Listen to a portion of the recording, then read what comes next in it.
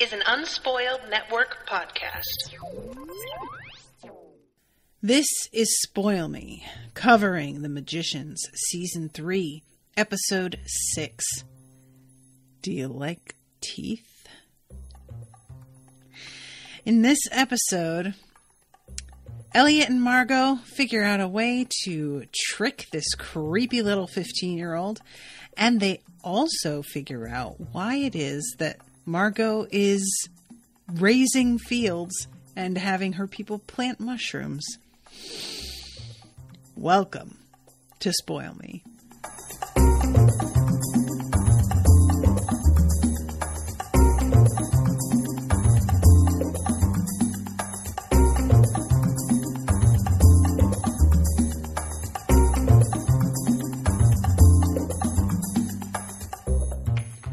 Welcome to the show, everybody. I am Natasha. Thank you very much to Mathy for commissioning this episode.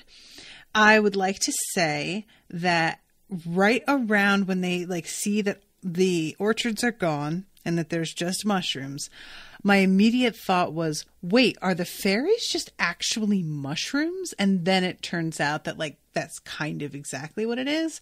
But I didn't really figure it out early enough to give myself much credit on that. So I do really like the idea though, because fairies, like, you know, stepping into a ring of fairy mushrooms is supposed to be like how you get transported to the fairy realm. So the idea that they are actually literally growing in like eggs that are attached to the mushrooms, that's pretty clever. I'm here for that. It's horrifying and it's like a literal like science fiction movie, but I'm I'm all about it, so that's fine. Um Megan, Jesse, and Jean Marie are all here in the chat. Hello to all of you delightful people. So, yeah, this episode, there is a lot happening here. Can we just talk about Quentin just like right out of the gate? Can we just do that? Because you all were here for the rant that I went on last week. Or was it earlier this week? It was earlier this week basically Quentin gets stuck with the version of me that was on that last episode. He is standing next to me, but it's not even like there's no like passion behind it. There's not me screaming at him like, what the fuck is the matter with you? It's just, you suck. Man, you are a drag. And honestly, if you guys think about it, any of you who experience depression, there is nothing that I wouldn't rather face than something like this. This monster that he winds up with, you are literally being attacked by the most frightening thing, which is all of the worst parts of yourself. There isn't even the comforting Oh, I'm up against a terrible enemy whom I hate and can blame. It's you. You're the terrible enemy whom you hate and can blame. So that's no fun. What good is that? Nobody likes that. And it's telling you all of the things that you always already tell yourself anyway. And again, there's no passion behind it. It's not angry at you, it's disappointed. And it's telling you things that make total sense. You're right. All I do is ruin everything. Everybody whose life I've gotten involved with is worse now. Every person I've tried to help, not only have I not helped them, I've harmed them, and then I've tried to tell myself that I was doing something heroic. I have wound up like the the even this monster even calls back to way back when you could have given Julia magic and you didn't because you just didn't want to help her. That's how far back shit is going. And you know, I in some ways I actually kind of like that we're seeing Quentin going through this because that was my issue when I started to get so angry I say started. I just got there. I got too angry. It's fine. I got there and I built a house. Um, part of what I was so angry about was that it felt like he has never actually had to atone for the shit that he has pulled. Like he still hasn't learned from a lot of it. What went down with Julia, I'm sure if somebody sat down with him and was like, that was fucked up, he'd be like, yeah, it was fucked up. Like, I'm not trying to say he's still trying to justify that, but he's like still trying to justify the thing with Alice and still trying to like make it about him. And I like the fact that this monster is bringing up some shit that like it one could very easily be like, "Oh, they're just trying to torture him." But there's a part of me that's like, "This is shit that you haven't dealt with like as a person. This is this is an opportunity for you to utilize some of what you hopefully learned in like therapy sessions when you were in the hospital. Um, and he says to this monster when it finally like starts to become apparent what's going on here, I have a black belt, so bring it on. And I really hope that's what we see here is somebody who is who has gone through therapy, who has gone through a lot of what it takes to treat mental illness, learning to utilize the tools that they were given, and that he's able to overcome this because he has been privileged enough, really, to have access to care and instruction on coping and and moving past things. There's never really a time where you beat depression. I mean, you can be medicated and it's still not going to be getting to the heart of things sometimes. But not to say that you get to the heart of things and then you don't need meds anymore. That's not what I'm saying because that's insanity. Y'all know how I felt about the whole like getting rid of meds things uh, in this show and others. It's a red flag. But yeah, I I just find this really compelling and the way that it's depicted it's done really, really well. You can tell that the people writing this are people who have gone up against this sort of thing mentally before. These are people who are familiar with that voice. And I really do love too the way that it's just in the background, just chiming in endlessly. Because when you're in a really bad place, that's what it's like. You can't do literally anything. Anything without this voice popping up and being like, oh, "You're so fucking pathetic." I can't believe you can't even fucking do this right. Jesus Christ, this is base level shit. What the fuck is wrong with you? And it's just like, oh my god, I'm trying to make a peanut butter and jelly. Holy shit. Are you serious? Are we really doing this? Like, it's just, there's no activity that's safe. There's nowhere you can go to get away with it, away from it. Um, and that is the part that's so scary. It's part of why, in all reality, that I can be such a workaholic. If I'm doing work, I'm not sitting alone with my thoughts. And sometimes, when I'm sitting alone with my thoughts, it's not a terrible thing. Sometimes it calms me. Sometimes I get things organized in my brain. Sometimes I feel like I'm actually like relaxing. But there are days where I can feel that being alone with my thoughts is the last thing I want to do today. And that's not healthy. That coping mechanism of just working so that you don't notice how depressed you are is not healthy. But it is a fact that is part of what I do is I try and keep myself busy so that I don't have time to slow down and think about how unhappy I am. And then because I will literally guys there have been days where I'm recording and I turn off the camera and there's 25 minutes before the start of the next one and I just have to cry for 20 minutes before I start the next one. That that silence of turning off the mic, turning off the camera and being here in my office alone, that short break is too much time alone. And y'all know what I'm talking about we all have the days where we're like, I'm just gonna duck into the bathroom real quick and just like have a have a little bit of a breakdown, just just just for a second, and I'll go back out and I'll do my job and act like everything's fine. But just you know, I just need to fall apart just real quick. Um, so what happens here is really like the way that it's set up is, you know, Quentin, first of all, he's like dressed up as a guard and is still working in the castle at like undercover, basically, um, which is pretty fun. I enjoyed that because they don't want the fairy queen to be aware that he is back. So he's in disguise. Um, there's a really sweet moment between him and Eliot where because you know we've I talked last time about what it could do to their relationship um, as friends, being able to remember this entire other lifetime that they had together, and I really love that we get to see this moment of them having like a heart to heart.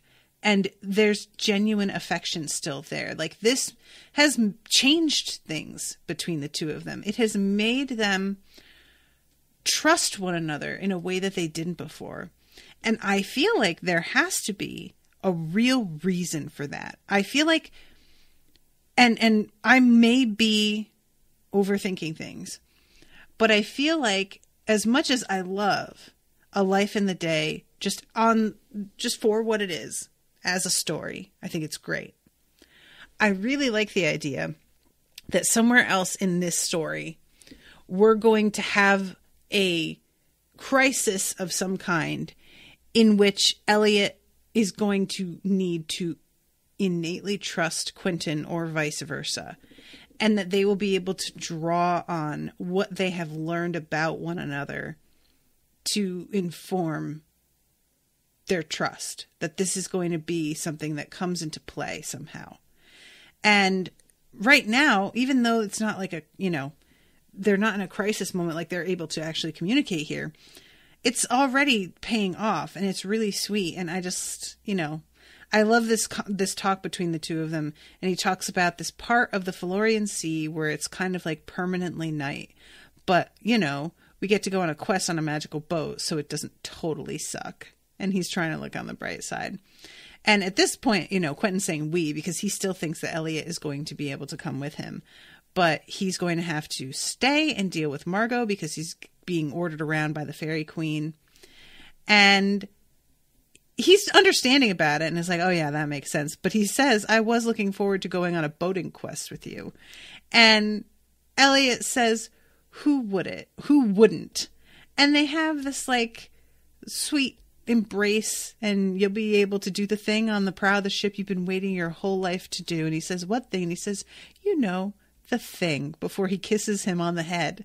And I like to think that this is something that like he learned when they were like hanging out that he still somehow remembers. Um so when we go to and guys, I want to back up a little bit. When I was like on vacation and thinking about the show, I hadn't, you know, I couldn't watch anymore, but I was uh thinking about The Voyage of the Dawn Treader, which um is a boat boat mission book um, from from the Narnia series, and the Voyage of the Dawn Treader has been one of my favorites because it's such a strange story. It's a lot of like it's a very sort of uh, Odyssey type journey from island to island, strange places, strange people, adventures. Um, it could be very easily done into like a sort of monster of the week TV show that goes on forever if you wanted.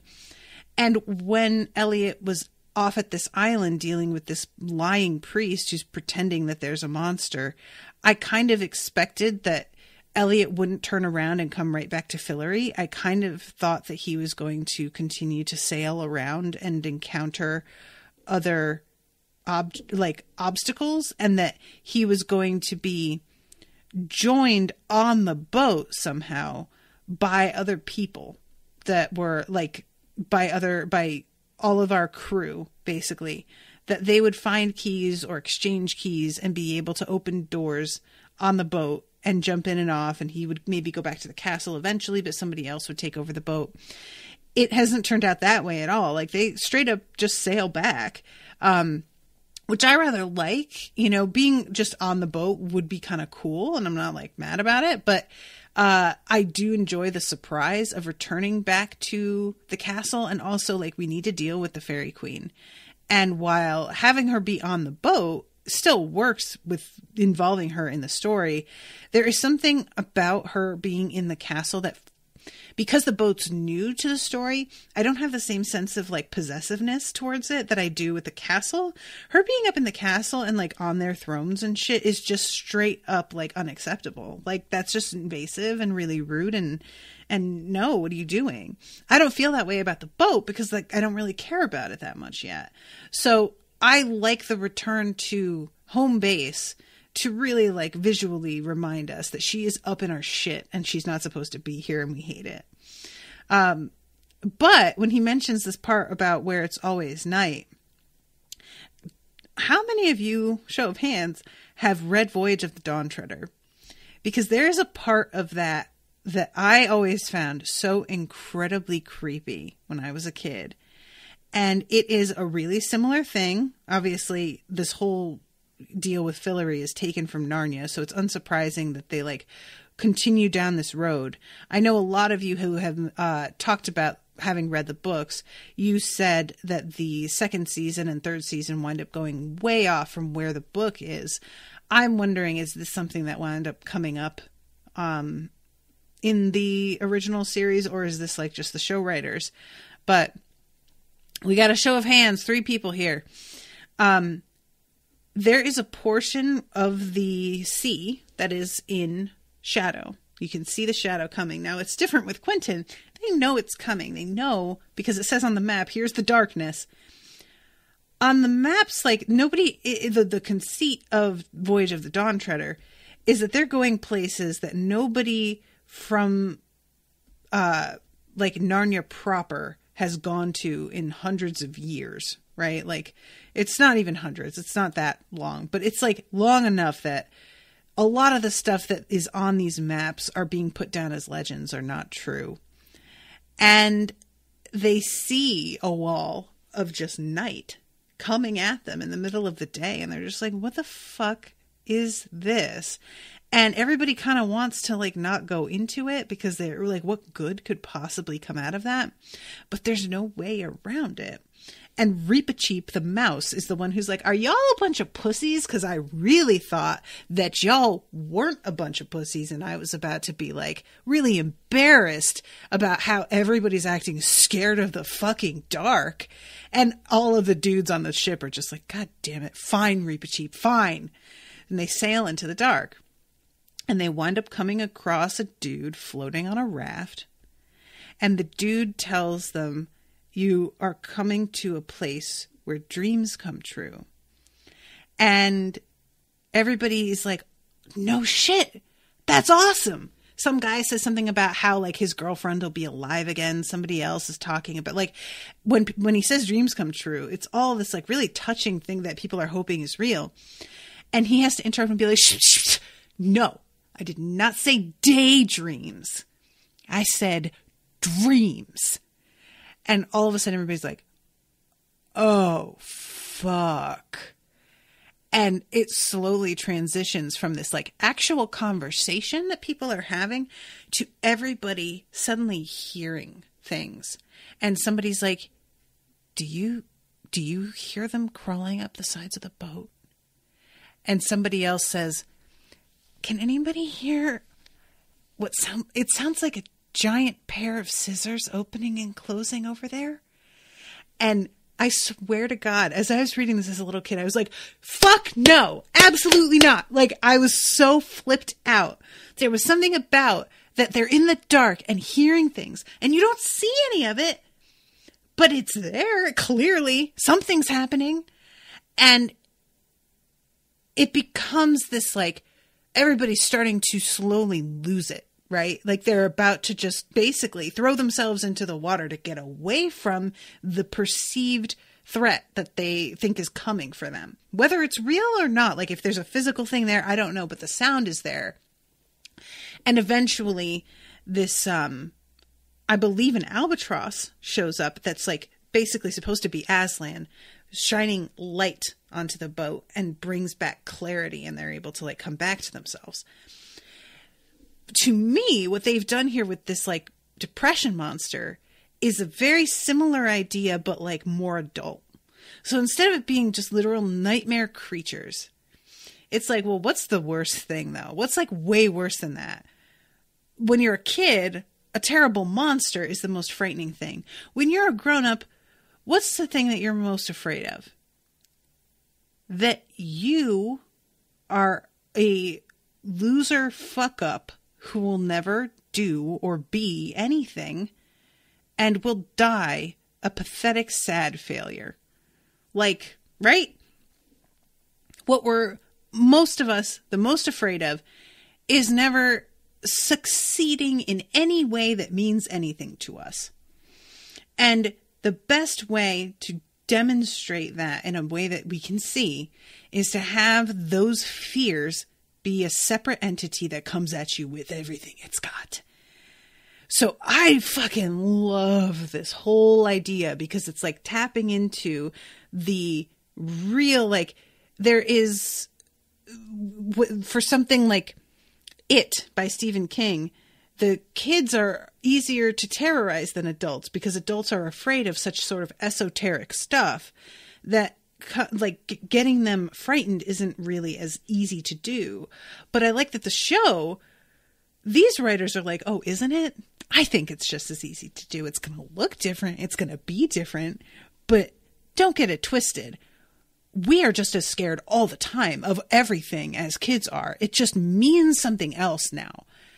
And this is smart, you know, because who's going to know better where to attack you? The the places to poke at you than you. Somebody who's been there the whole time, in lurking in the darkest recesses of your brain, saving up every scrap of criticism, noting every little bump in the road, and putting it all on a list so that they can just roll that shit out, you know, until and, and, and read it nonstop until you're dead. Oh, okay. So there is a person that they wind up finding, and I really thought that she was going to be like, this is uh, the place of, of evil dreams. I thought that's where we were just doing that. But what's weird about it is she says something about how she survived for three weeks on a raft. This bitch is healthy and cheery. It was already to me like, mm hmm. No, you didn't. What's your deal, bitch? Like, I wasn't trusting this at all, right? And I still don't because I don't know how she survives on a raft for three weeks all alone without food or water and then is like able to stand around and talk and be cheery. Don't I don't buy it. I don't think so. But it and she keeps looking over her shoulder too. And honestly, guys, I thought she was looking at fairies straight up. I thought she had made a deal with the Fae, and that's how she had survived for three weeks, and that they were following her around. And basically, I thought that this was going to dovetail with like um, Quentin having hidden in the castle and pretended that he was like a guard.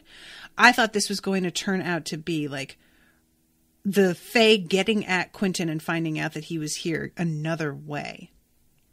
Um, which I guess could have worked, but it, it turns out to be nothing like that. She is looking over at the ugly version of herself that is talking to her. And when she says something about having questionable morals, I feel like that's part of what insulates her is that it seems like she isn't as bothered by this thing talking to her. It she looks over at it, she's aware of it, and she doesn't look happy that it's there. But it's not like completely shaking her world up. And I think that is an indicator that maybe she doesn't have a whole lot of shame because maybe she's fine with being kind of a shitty person. There are some people that are just like that, you know? And I mean, to be perfectly honest, I envy them sometimes. How great would that be? Like, as much as it wouldn't really, because you know, as somebody on the outside who looks at people like that and hates them, you know that people would actually really despise you but you wouldn't be aware that they despise you. So, like, who cares, really, when it comes down to it? I don't know that it matters that they despise you. And I feel like that's kind of weird. She she is just like, yeah, I survived. I managed to be the one to make it out. And uh, I'm not apologizing for that. I don't really feel bad about that. It sucks for them. I'm not happy they're dead, but also, like, what are you going to do? You know? And also, I should mention that she is played by, uh, what's her face from that show? The Guild. Is that the one that, is that the way it's called? Oh, y'all know what I'm talking about. Felicia Day. Thank you, everybody who popped up at the exact same time, having written her name out. Y'all are precious. I love you. Um, and she plays like kind of uh, sociopathic pretty well. I thought that she was killing this. I liked her. I hope that she doesn't go away forever. We'll see what happens there. Um, but yeah, so Quentin winds up like figuring out what the fuck because she makes him touch the key while he's drunk, which is just so gross. He wakes up and this thing is standing there and he goes at her and it's just like, what the fuck did you do? And she tells him that it's sort of like it follows. Um, those of you who have seen that horror movie where it's like the last person, it's coming at them. But if you are able to hand it off to somebody else, then it begins to torment that person. The difference is with it follows is it won't come at you after that person's dead. It follows. Eventually it will catch up to you probably. But with the key, that's not how it works, I guess. Like if somebody dies with it, that's the end of it until somebody picks it up again. Um, so he tells uh what's the name of the guy? The poor little dude who gets eaten by a dragon. Precious little cinnamon roll. He's so sweet. Um, but he tells him to tie himself, Quentin, up to the the mast of the ship. He's doing basically an Odysseus type deal. Um, because he cannot be trusted to not hurl himself overboard because he is considering suicide every second essentially. Um, and I really like when he when he starts talking to uh and what is her name again? I'm trying to remember what the what Felicia's character's name is. It's like um Poppy, I think. Um she is he tells her that she is uh that the keys have been like managed to transport him to and from Fillory or that they have like gone to the Neitherlands and yada yada yada. And when she says this, or when he says this, she's like, "Wait, are you fucking serious?" Because she wasn't aware that they had this power, and I guess just didn't. I don't know if it's just like a keyhole pops up and she didn't notice it, or if no keyholes pop up unless you're looking for them, or unless there's like an, a need for it all of a sudden. I don't know how they appear, but she grabs it away and is basically like, I'm going to go home. Fuck all this nonsense. I'll even deal with the depression monster because as long as I'm home, I can hand it off to somebody else again. She has no problem with putting this onto other people. Quentin is not interested because, as far as he is concerned, he is equipped to deal with a thing like this and he will beat it or he will die and it will end with him. But he needs the key, first of all. And second of all, as he put it, he has a black belt. And if he lets somebody else handle this thing, they may not survive it. He's all too aware. She doesn't care.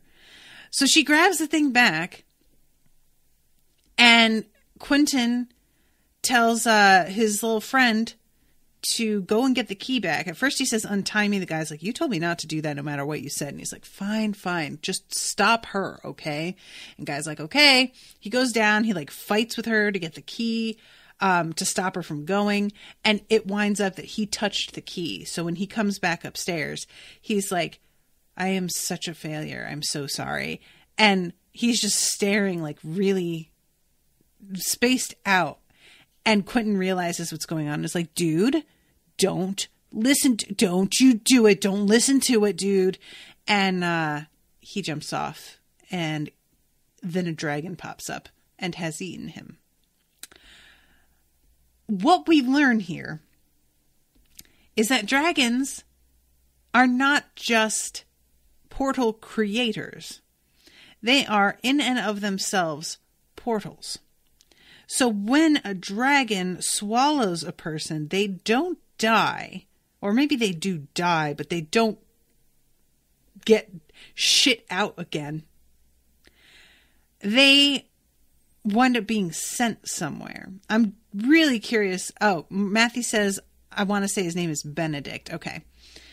I don't know if Benedict, if Ben, has been sent to the underworld as a living person who just went through a portal, or if it's supposed to be that, like, he was crushed to death in the jaws of this thing and swallowed, and now he is alive but in the underworld. I don't know how this goes. But I don't know why we're assuming that the portal he went through is the underworld portal. Like if if dragons are portals, how do you know what portal he went through? And if he got killed in any other way, wouldn't he wind up in the underworld as well also? I guess it's not about him, it's about the key, really, and where the key winds up. Um yeah, I just had a little bit of trouble following like the the chain of logic that they had going on here. Um Huggabug says in the book her character is completely different. She's the most normal, well adjusted person in their group. Oh, so she's a book character. I didn't expect that. Um oh and yeah, and she knows Josh as well, which is pretty fun. I like that detail as well. She's part of that that 2016 class that all fucking wound up here. Um so the the you know new mission now is going to be having to go back to the underworld and uh, getting that key. So all right, let's back up to what's going on with Margo and this fucking child. She's walking down the hallway and she I don't know if she is like she is is talking to the queen of the cloud mountain tribe, floating mountain tribe. Um, and this queen is talking to her about how she has heard a rumor that Flea has been spotted taking scrapings from the wall in the hallway of uh, allergic stone. And that she has figured out Margo is dealing with this fairy queen and that she also has dealings with the fairy queen and wants this bitch taken out of the equation.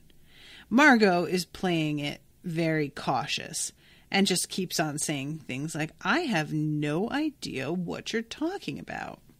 Now, I don't know where Margo gets her lip color but y'all, I'm gonna need it.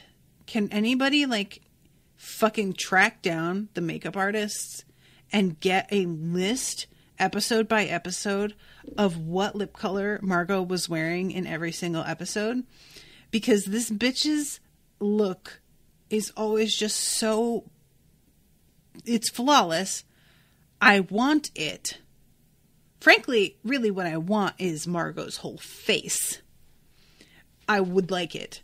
But in the absence of that, I'll settle for name and brand, please. Because, uh, look, just so, she, it makes me so mad. She looks so amazing. Every eye patch she has, too, is so dope. Um, so this woman is talking to Margo, trying to act like, oh no, sweetie, we're both on the same side. I don't, Margo says something about, like, oh, don't worry.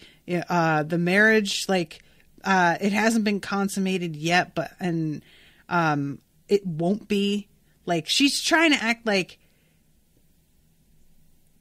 the the queen is like, oh no, Margo, you've got me all wrong. The misguided actions of my son have soured both sides in our arrangement.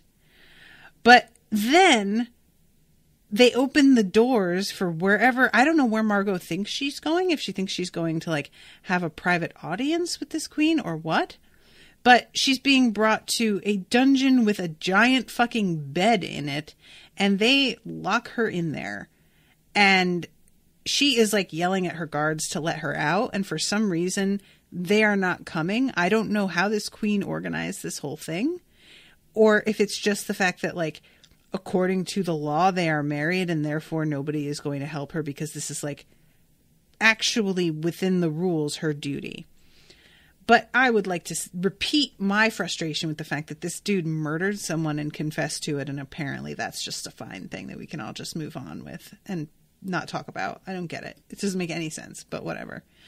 So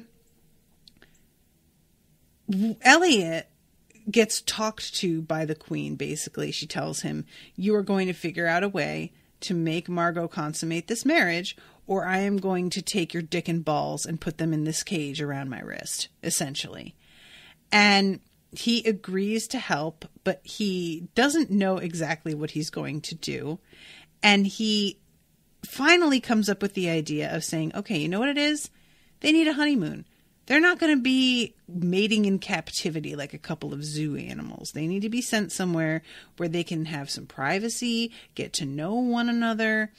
And the queen agrees to this, the fairy queen, which seemed a little unlikely to me, but also I don't know how much she like is aware of Eliot's deviousness. She's gotten a look at Margo, but I don't know if she's really gotten the measure of Eliot yet. And so the next time we see them, they're all in a carriage riding together, and he's like really encouraging Margo to drink this wine that he has poured. I would like to mention that the glasses they're drinking from in the carriage and the bottle and glasses that Quentin drinks from with Polly on the ship are some of the most beautifully designed glassware, and I want them so much. They are really, really pretty. Lots of uh, gold leaf and really intricate, like um, etching on the glass, and it is just stunning. It's so pretty. Um, and somehow Margo drinks it and nothing happens. But the son, what is his name again? This kid, he is continually asking and I, I really like the fact that they cast a boy who looks like he's 15 years old. You know they could have cast one of those like actors that's that is obviously 35 playing a teenager but they cast somebody who he probably is like 25, you know, but he looks like a child. So it's just made so much more creepy every time he pipes up and is like, So, are we going to bang? I'm just like, Ah, dude, stop. You're so creepy. But yeah, he gets passed out, and Margo and Eliot are finally left to talk over what the fuck is going on. Um, I really love her saying, like, is everything cool between us? And them talking out the fact that things are still a little weird. Um, and she says something about how they used to be such glamorous mega bitches, and look at us now. And he says, well, we have depth and character. And guys, the expression on her face I'm screenshotting this right now and I'm going to share it in the comments on this post. Ah, shit. I hate when that happens. Um, I'm going to share it in the comments on the post for this in the group because she looks so like it's just flawless acting. There's no hint of like I'm doing a bit of a uh uh j- like an in joke between the two of us in this scene. It really just looks like she's genuinely going, what language did you just start speaking? What the fuck was that that you just said? It is just great. I love her so much. Um, and he says, let's decide. We'll find us again once we're done saving Fillory. Okay. And they shake hands on it. And I was just like, oh, you guys, be good to each other. So they get out of the carriage because they are supposedly at the orchards. And when they get out, it is nothing but CGI mushrooms as far as the eye can see. Um, and they can't figure out what the fuck is going on because not only are there mushrooms where there should have been trees, but these things, like the air that they are standing in, feels different. Everything is fucking humid and moist. And Margo says something about how, you know, it's weird actually. I didn't really think about it, but they're always like moisturizing at the castle as well. She's always like bathing and like there's just so much water shit going on with all of them. And then they start to think maybe they're terraforming so as they can take over all of Fillory like straight up. And one of the mushrooms moves And she's like, she says, Should I pluck it? And I was like, Girl, don't touch it. No. But I'm glad that she did. I didn't think it was a good idea, but she does. And a whole ass alien from the movie Alien egg is attached to this fucking root system of this mushroom. It is the worst thing ever. It is so creepy. And what she winds up doing is collecting several of them to use as hostages later. I am real curious how that's going to go because they have uh, acres of these shits growing. Are these six going to be like particularly important? I I mean, the only thing that I could see is that they were growing from a fairy ring of red mushrooms versus the plain white mushrooms that all the others were growing from. So perhaps these are royal family mushrooms. I don't know. But yeah, this is like this is a big deal because once Eliot starts talking about it, he says, Think about all the crazy shit they've kept us busy with earthworms, adolescent slug mash, turtle semen. This is all just a thin frosting of whimsy on a cupcake of conspiracy. This is a full scale invasion. And he turns around and he's still talking to himself, and we can see that, like, Margo has left and we don't know that she left left. I thought maybe the fairies had like descended and taken her again. And it's clear that he kind of thinks that as well when he turns around and he's she's not there. He's kind of like oh fuck. But then she comes running off uh, running in from off screen with these fucking creepy water balloon mushroom things. And i love when she says hostages don't ask questions. And he just says what the fuck? and runs after her and gets into the carriage I I do not know what is going to happen next, but I love this whole development. I love it. When later on we return to the carriage, the two of them are riding trying to figure out what the fuck they're like gonna do next.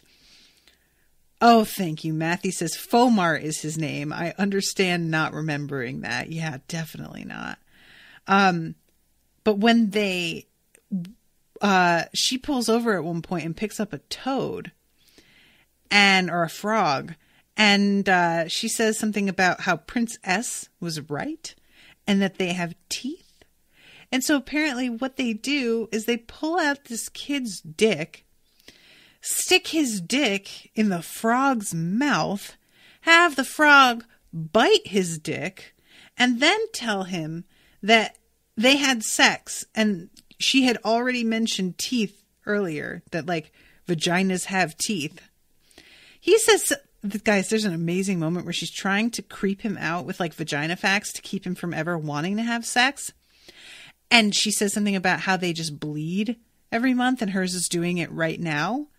And he says, That's okay. I like blood. And you can see her looking at him like, I just can't deal with how disturbing you are. Like, there's just this moment of just like, oh my God, what am I supposed to say to somebody like this? Like, so yeah, the teeth thing is what she, like, what finishes out that scene.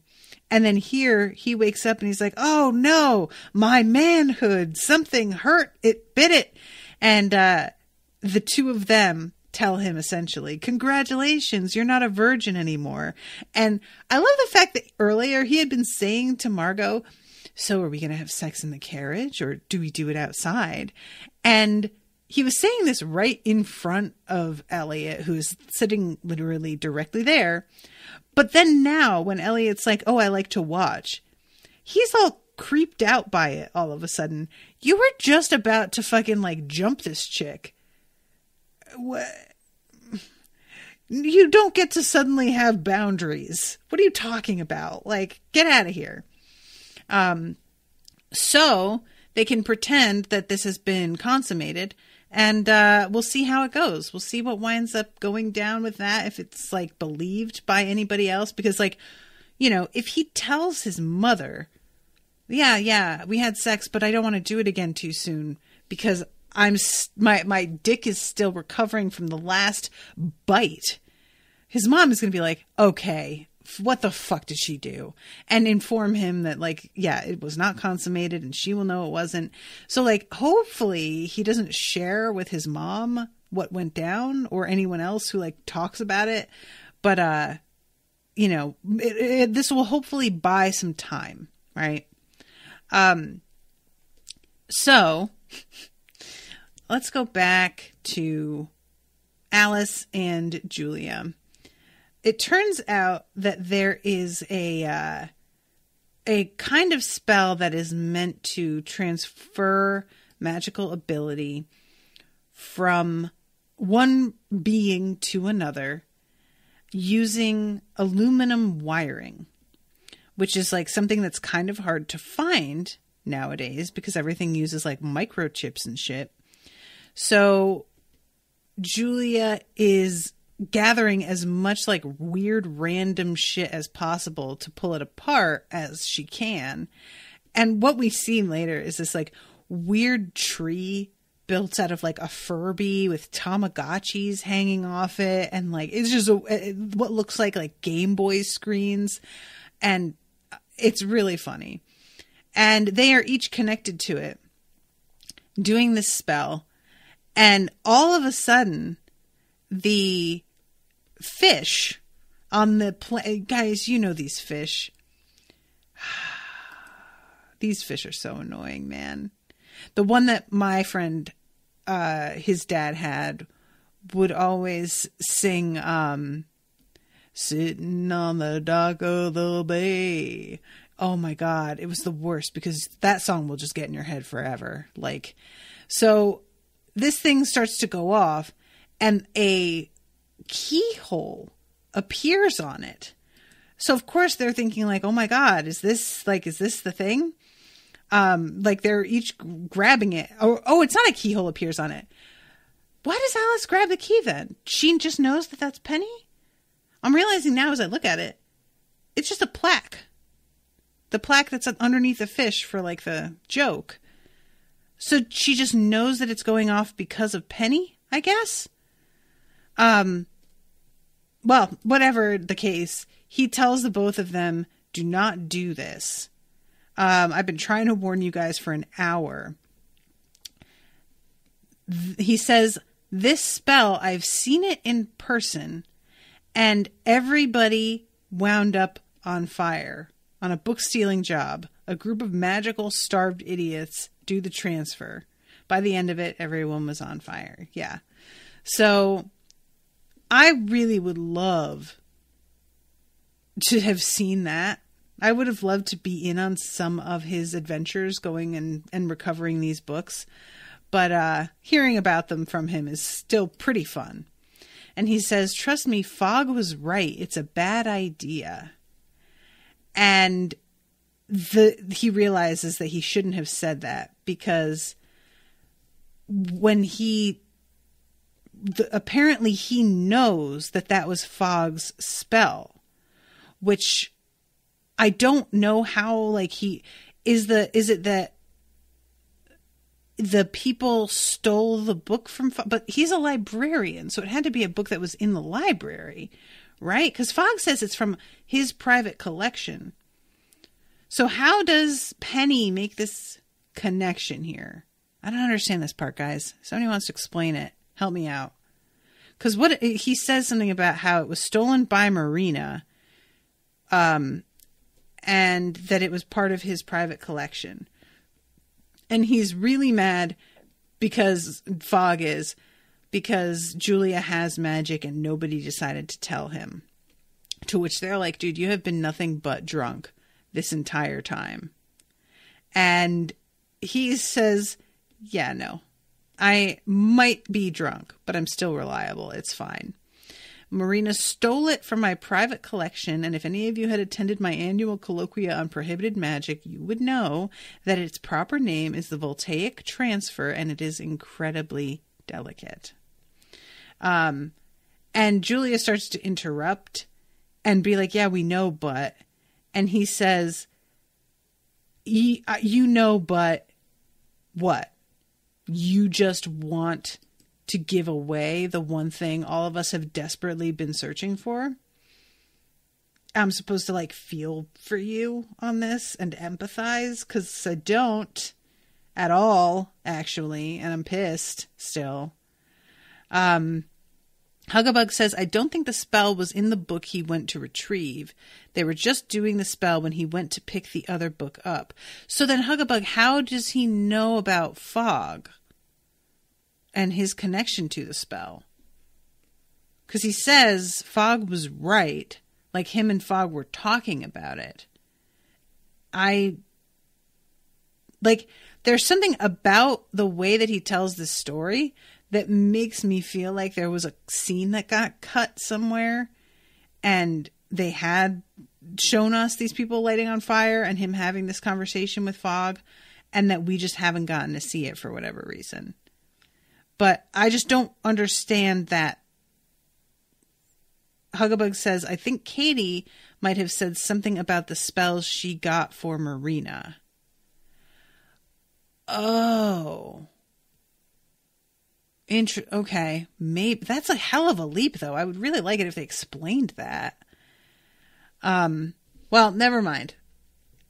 So yeah, he tells her, "I'm a magician with no magic, a dean without a school, just a blind, unemployed black man in America."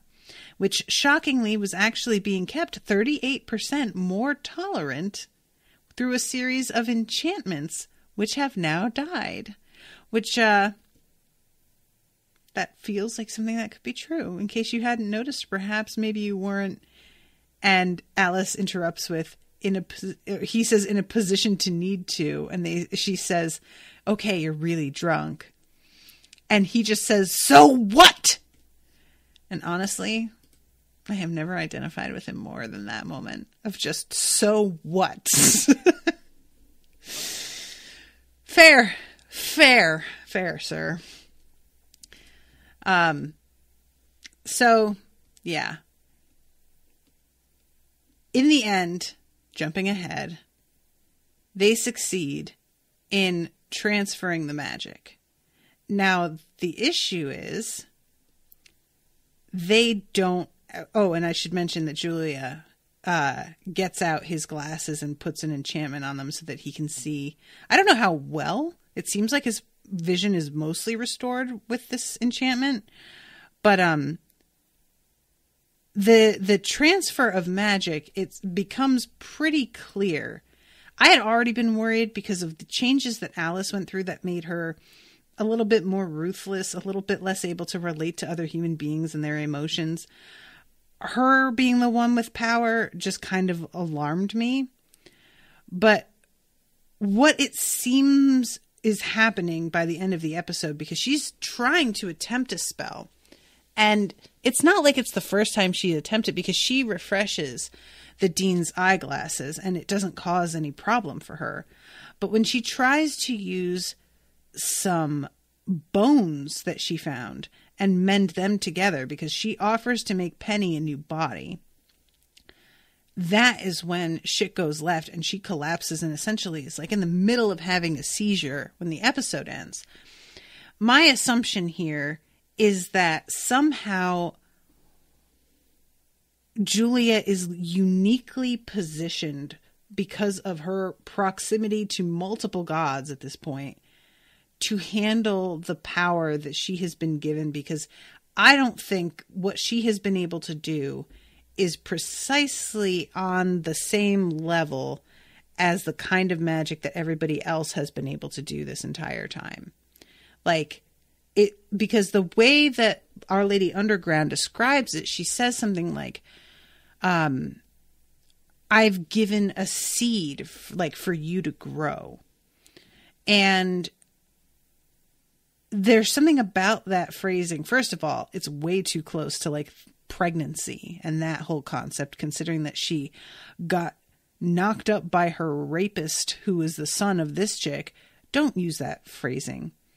But there's something about that for me that feels like just she is equipped for it in a way that's very specific. So I don't know if that's what it is or if Alice is having some sort of reaction to the actual bones she's using. Like maybe there's something going on with that or if because Alice is like in a constructed body that isn't actually the body that she had before, trying to do spells that involve like human physiology like fucks her up. I don't know what the deal is here.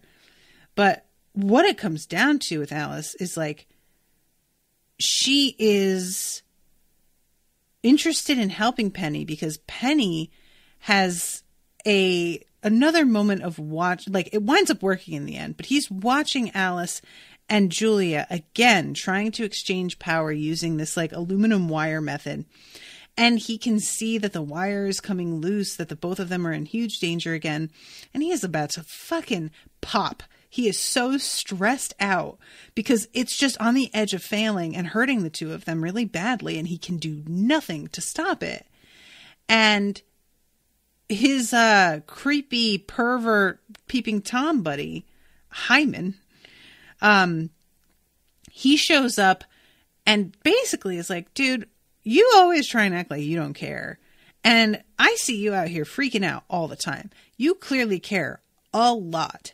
And i think the best thing for your mental health is to go somewhere with people who aren't constantly doing this kind of incredibly dangerous shit so that you are not always about to explode from anxiety.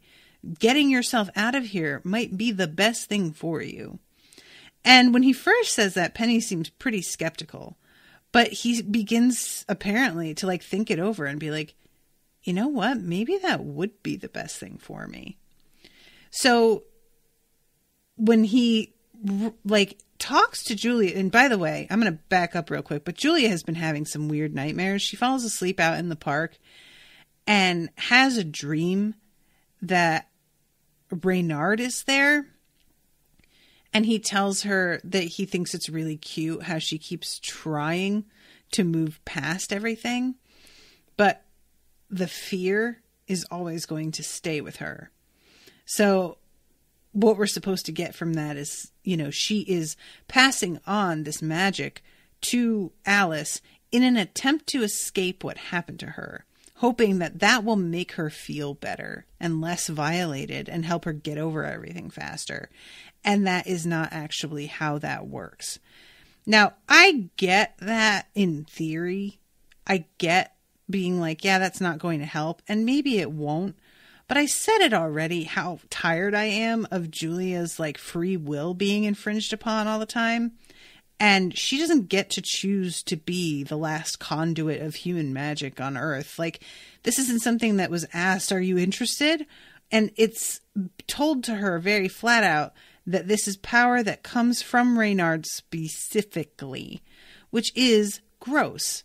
So, like, maybe it's not you can't run away from that but i don't blame her even one tiny little bit for wanting to be rid of that not at all it's it's the kind of thing where it's like if somebody let's say uh like there are people for example who will get a uh settlement um after like a lawsuit due to sexual assault or harassment and if people want to just like live on that, like I'm not mad at them for that. I'm not saying that.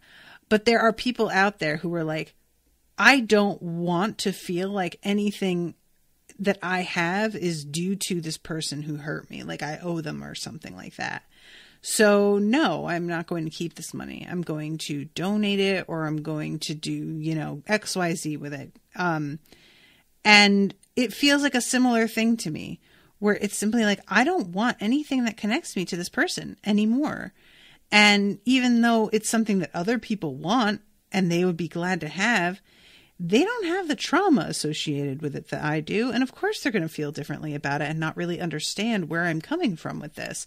So, yeah, Dean Fogg just being like, oh, so you just didn't want to tell me about how you still have magic and don't you understand what it's like for me not having it? And I'm like, yeah, but don't, don't you understand what it's like for her? being told that this came directly from her rapist by her rapist mother like dude you know um so yeah i uh i don't know what to think about what's going to happen here if she's going to want to take the power back because that seems like where we're heading is that we're going to find out it was given to her and it is hers to use and Alice can't and now she has to decide to take it back willingly. And this is going to be like the way that we sort of circumvent her free will being violated the first time is that she's going to choose to take it back. But the thing is it's not exactly free will the like when your friend's being held hostage and having a seizure if you don't take it back so i don't know um so anyway penny uh is, like meets with her and tells her goodbye.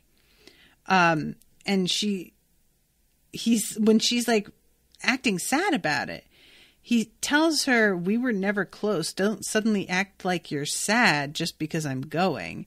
And she says, "I don't want to see you go. I'm not acting. I don't want to see you give up." And he says, Give up. And she says, Yeah. And he says, You're the one who had magic and you gave it away. And I was just like, what the fuck? Again, dude. Like, everybody's just like ignoring. And I don't know, maybe she hasn't told them where it's coming from. Maybe that, like, she hasn't shared it. But shit, I just am so tired of everybody just like bagging on her all the time. Um, and he says, What's your plan? Go back to law school, live off your trust fund? And she says, No, my plan was to take five minutes and try to remember what life was like without a god or a quest or some dead asshole bothering me. And frankly, beyond that, it's none of your business. And he says, Because you have nothing beyond that. Where the fuck does he get off talking to her like this? Go fuck yourself, Penny. You don't know her. You just straight up told her we were never close, and now you're acting like you know her life? Get the hell out of here. I understand the writers need somebody to deliver this message so that she suddenly gets a wake up call, but it coming from Penny feels totally disingenuous and really shitty and doesn't feel real to me at all. I, he was the wrong vessel to use to deliver this message to her. I hated it. The only explanation I will accept is that we find out later he doesn't remember saying any of this to her because he was taken over by some other being who used him as a puppet. Because otherwise, this is bullshit, frankly, and I am not interested. Um, so yeah, they get interrupted by Alice coming in, and this is when she's like, "Well, why don't I just make you a new body?" And I'm like, "Oh my god! All right, we're just gonna do that and act like that isn't something that we should have talked about right away. So yeah, she uh, begins on that and winds up on the ground, foaming at the mouth. Didn't go super well, in other words. So we'll see what happens. I'm very curious, but I'm mad at Penny. I'm just mad at him. I don't like him for doing this. I don't like the way he said this. I don't like the way he acted. I don't like the presumptions he made. I'm mad at him. So there it is. Um, all right, guys. Well, thank you very much for coming and hanging out with me, everybody. Thank you again to Mathy for commissioning this episode. I am going to wrap it up.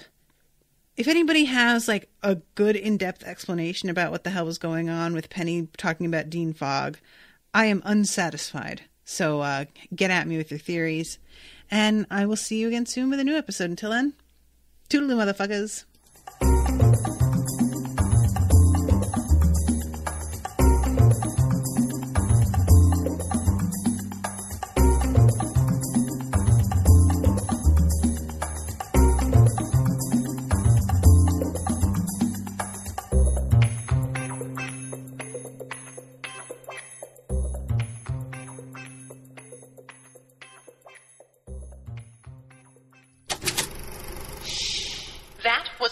Unspoiled Network podcast.